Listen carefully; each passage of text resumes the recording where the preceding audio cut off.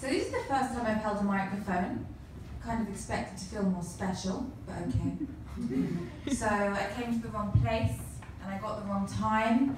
The first time I used a tampon, I put it in the wrong hole. But it's only uphill from here, right? But it's okay, because like I'm a very naive person. Like right now I feel like you all know it's my first time, you'll be really nice, you'll kind of laugh when I laugh. Ah, I'm so naive that when someone first said they want to be friends with benefits, I assumed it meant banging someone on job seekers allowance.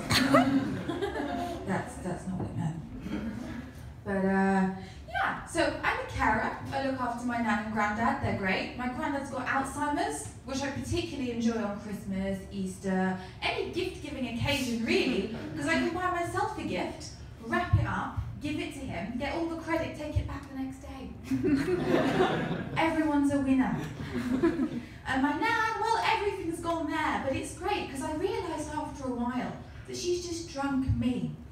I realised when we're standing in the kitchen, we were having a little boogie to Frank Sinatra, you know, fly me to the moon, let me dance.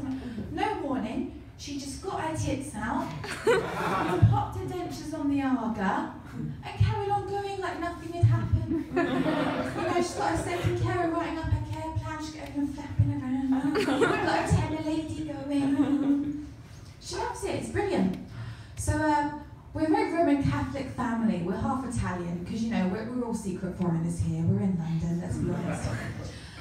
And so I've got a in the garden that I stay in, so I can do non-Roman Catholic things like drink, swear, maybe have a relationship outside of marriage. Who knows? and uh, Alzheimer's granddad. Sometimes he forgets I'm there, and he locks the cottage doors which would be fine if the caravan had a functioning toilet. So this happens one day, I've had a bit too much Sauvignon. I feel like I'll just do what my dog Frankie does. I'll go outside, I'll do my little wee, but like nothing happened. It's natural, right? We've all got bodily functions. So I'm squatting down, I'm doing my little drunken wee in the garden. Something happens. I shit in my nan's garden. Don't know what to do. So I kind of crab walk back into the I sacrifice a sock. Grab the Sauvignon for a bit more inspiration about how to search this fucking situation.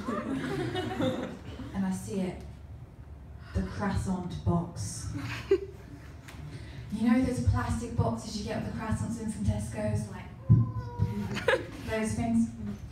Pop sock in it, pick up the box, go into my nan's beloved garden. I scoop up the shit. and I think, I know what I'll do, I'll be clever. There's crops in the next field, no one will see it. So I go through the ditch with this box, like,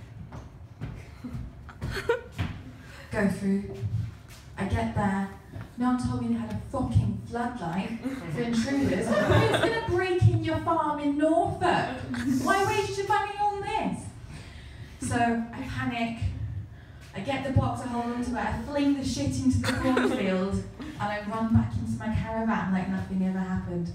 But it's all natural, you know, we've all got bodily functions, doesn't matter where it happens really. Which brings me back to my dog. Does anyone here have dogs? Yeah. Yes. So we all know, you know, they're quite socially inappropriate. Like they meet someone, they're like, oh bum. All for the most outrageous smelling things they go for. So, uh, anyone here sleep naked? Yes. Um, there we go. A bit of honesty, the rest of you come on. So one day I come home, a bit drunk, take off my clothes, pass out naked. Any woman here have periods? right? She, she gets me.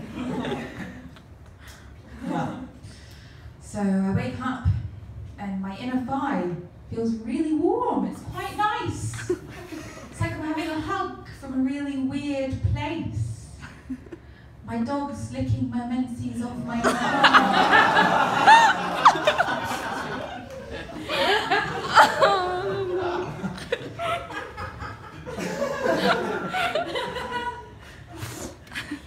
I really wish I could say I made that joke up. On that note, I'm we're going to leave early.